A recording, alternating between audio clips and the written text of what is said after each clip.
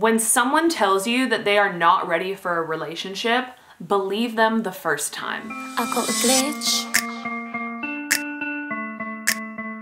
Oh, it just hit Hello everyone and welcome back. It's Ash, your truth bombing fairy godmother for everything love, dating, and relationships. Today's video topic is one that I have touched on before, but I thought it was time to do an entire video about, which is the topic of being told by someone that they are not ready for a relationship. I have absolutely been there before, so I'm going to be talking about my personal experiences with this, what the I'm not ready for a relationship line really means, and why you should most likely walk away from this person as soon as possible. But first, if you think you could benefit from new love, dating, and relationship videos every single week, then I would love it if you considered subscribing to my channel by tapping that button below. Okay, so let me start off by saying that everything I'm going to be discussing in this video is based on the assumption that you do want a relationship or you do want something more committed.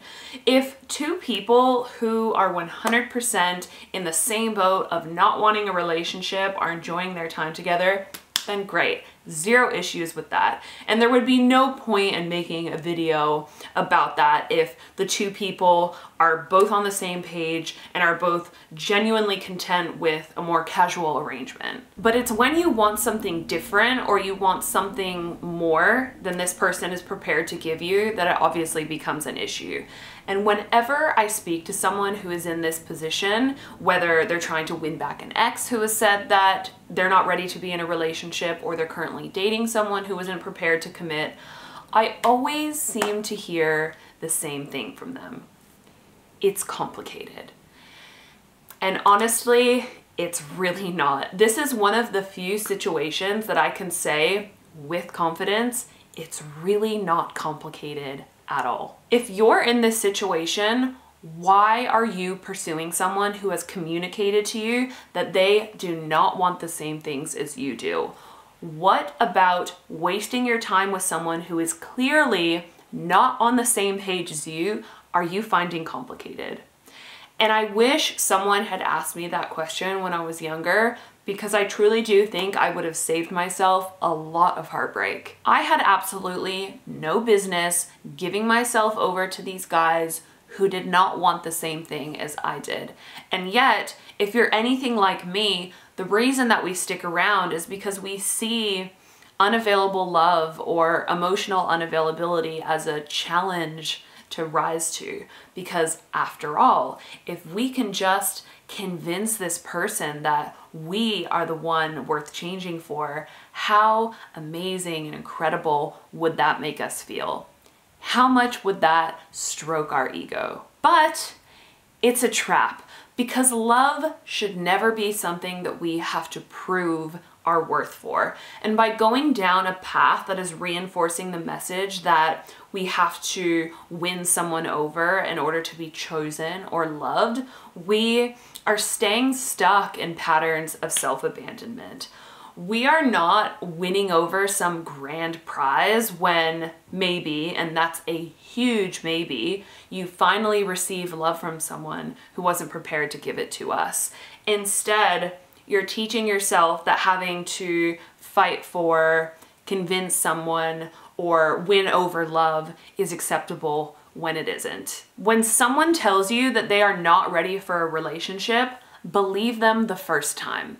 When someone tells you who they are, believe them. When someone tells you that they are not ready, that is not a green light to see how long it takes to wear them down or make them change. You are worth so much more than having to wear someone down in order for them to finally choose you. If someone does not want the same thing as you, that should be a non negotiable. That is your sign to pack it up and leave. To share a personal anecdote about this, my second boyfriend had told me on several occasions prior to us becoming official, but I'll get to that in a minute, that he did not want a relationship and that he did not want the label of having a girlfriend. Red flag. Whereas I did want that. That was something that mattered to me. And it wasn't just a label. I wanted to know where I stood with him. And at the time, that situation felt very complicated for me too. Because here was this guy who was saying that he didn't want a relationship, yet he was involving me in so many different aspects of his life as if I was his girlfriend. And I went ahead and assigned my own meaning to that. That, you know, he clearly really liked me, but uh, perhaps he was just scared or needed time or whatever. And you know what? Maybe he was scared, but it wasn't my place to assign a meaning to something that was honestly irrelevant and beside the point because scared or not, he wasn't ready for what I wanted. So I continued to allow the allure of him bringing me into his world and this fantasy of him eventually falling in love with me to override what he had very clearly told me from the start, and I found myself constantly making excuses for why it made sense to still spend time with him despite knowing that we wanted different things. And in hindsight, the advice that I would give to myself or to someone else who is in this position is again, to believe someone the first time when they tell you what they do or don't want. Instead of continuing to linger in the hopes that he would eventually change his mind, I should have said the moment I found out that we were on different pages, thanks, but no thanks. This has been wonderful and it really hurts me to have to do this, but it's clear that we're not on the same page and we want different things and that's totally okay. Best wishes. And then maybe if someone you're involved with then goes away and reflects and realizes that they've had a genuine change of heart, completely uninfluenced by you, and decides that they do want to give this a go after all, then maybe, just maybe, you can then reassess at that time together. But please do not expect that to happen because there is a huge huge possibility that it won't. But the point being here, it is not your challenge, your job, or your responsibility to inspire someone to want to be with you. They need to show up ready and willing on their own accord. And even then, if you say your goodbyes to this person only for them to express a change of heart and, you know, come back and you decide together to give things a try, you better believe that that person should be now proving to you that they are genuinely ready instead of just doing so to appease you. They better show up prepared to do some work because this is exactly what my ex did not do. I hung around way longer than I should have. I eventually gave him an ultimatum in which he reluctantly did make me his girlfriend. And then he was completely unavailable for the entire duration of the relationship. And you think that that would have been enough for me to go, you know what, maybe he really wasn't ready after all. But nope, I kept clinging on to that false hope until he eventually dumped me all on his own. To kind of drive home what I'm saying here, I'll share this post that Rising Woman posted recently, which said, you will never need to convince the right person to love you. No matter what, you cannot change them, make them do the work, or get them to commit to you if they're not ready to show up. Change must be inspired from within, and actions are always louder than words. And in this case, I'd say that words are pretty damn loud too, because if someone is honest enough with you to say, hey, I'm not ready, that's about as loud and clear as it can possibly get. But anyway, she also goes on to say, the truth is you can't change people or force them to do the work. People are who they are and it's not up to you to try and change them. Sometimes you meet a person and they're in a space when they're ready to do the work and sometimes they're not.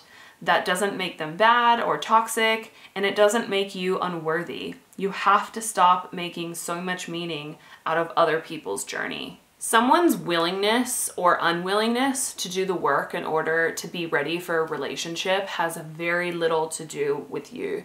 That's something that has to be internally motivated and often just comes down to timing and maturity for a lot of people. So when someone says that they're not ready to do the work, it's up to you to have your own back and walk away from someone who's not prepared to give you what you want and need. And on that note, just one more point I want to quickly make here before wrapping this up. Please stop assigning meaning to the fact that this other person, despite saying that they're not ready, is still pursuing you. Of course, they're still pursuing you because they're getting their wants and needs met, no problem. They're getting your company and whatever that entails while also not having to commit or not having to show up in a consistent or meaningful capacity. So why the hell would they pump the brakes? You have to be the one to be honest, both with yourself and this other person about your wants and needs and the fact that this person is not meeting them. The only person who can do that for you is you. Okay, my lovely people, as always, thank you so much for watching. I hope that my directness in my messaging was able to provide you some clarity if this is a situation that you're finding yourself in. I would love to hear your thoughts and stories if you're open to sharing, so please feel free to do so in the comment section down below. I love you all so much and I will see you all next week. Tell me what was in that stuff you gave me. I think I like it. In fact, it made me high pitched.